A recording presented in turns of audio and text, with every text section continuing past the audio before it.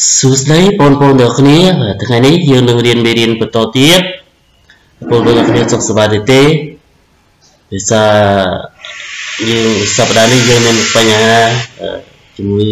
Covid ជាដែលយើងអត់បានរៀនជាមួយគ្នាប៉ុន្តែយើងបានរៀនតាមប្រព័ន្ធអនឡាញជំនួយថ្ងៃនេះផងដែរយើងនឹងរៀនអំពីភាសាខ្មែរមេរៀនទី6អំពីមធ្យោបាយធ្វើទំនាក់ទំនងបាទ ថ្ងៃនេះមេរៀនគេប្រាប់ថាវិទ្យាសាស្ត្រកាន់តែរីកចម្រើនមធ្យោបាយទំនាក់ទំនងក៏កាន់តែទំនើបនិងសម្បូរបែបរៀនមធ្យោបាយផ្សព្វផ្សាយកាន់តែអភិវឌ្ឍឈានឡើងជាលំដាប់អូខេយើងយើងមើលណា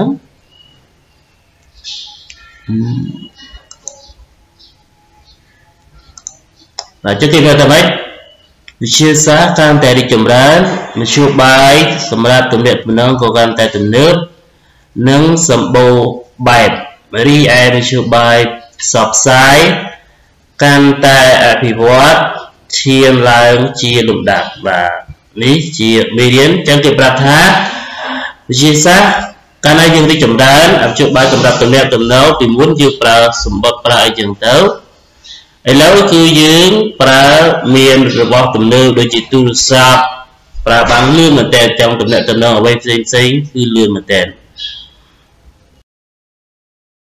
ទៀតមានទៅបាទតាំងពីក្រនតែលឺសំឡេងទៅឃើញរូបភាពបាទយើងពីមុនយើងក្រនតែនេះតែឥឡូវយើងបានលឺសំឡេងហើយយើងឃើញរូបភាពទៀតទំនាក់ទំនងផ្ទាល់មាត់ឬសរសេរសារដោយឃើញរូបភាពផងនាំឲ្យមនុស្សស្គាល់គ្នាកាន់តែច្រើនបាទ ចឹងសូមបងប្អូនទាំងគ្នាអាននៅមេរៀននឹងតទៀតទៅហើយយើងយល់អំពីមេរៀននឹងហើយបាទសម្រាប់កិច្ចការទៀតថ្ងៃនេះបាទយើងនឹងរៀនអំពីការបង្ហាញមូលហេតុនិងព្រឹត្តិការណ៍នៅទំព័រទី79បាទអញ្ចឹងកាលពីសប្តាហ៍មុនលោកគ្រូបានបង្រៀនហើយអំពីហេតុហើយនិងផលនៃព្រឹត្តិការណ៍ ឧទាហរណ៍ទី1បាទឪពុកសំមិនហ៊ានចេញទៅនេសាទត្រីទេថ្ងៃនេះពីព្រោះគាត់បានស្ដាប់វិទ្យុផ្សាយថានឹងមានខ្យល់ព្យុះខ្លាំងនៅពេលរសៀលអូខេតែយើងគិតថាមួយណាជាហេតុមួយណាជាផលនៃព្រឹត្តិការណ៍ឪពុកសំមិនហ៊ានចេញទៅនេសាទត្រីទេពីព្រោះគាត់បានស្ដាប់បាទអញ្ចឹងកន្លែងពីយើងប្រើពាក្យមានពីព្រោះ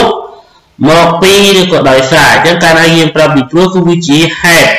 ដោយសារតែគាត់បានស្ដាប់វិទ្យុហ្នឹងហើយទើបគាត់បានទៅចេញទៅអញ្ចឹងគាត់ផលរបស់គាត់គឺគាត់បានចេញទៅនេសាទត្រីទេដោយសារគាត់បានស្ដាប់ថាពេលរសៀលនឹងមានព្យុះបាទចឹងពីទី2រហូតដល់ទី4បងប្អូនធ្វើខ្លួនឯងហើយផ្ញើមកលោកគ្រូមើល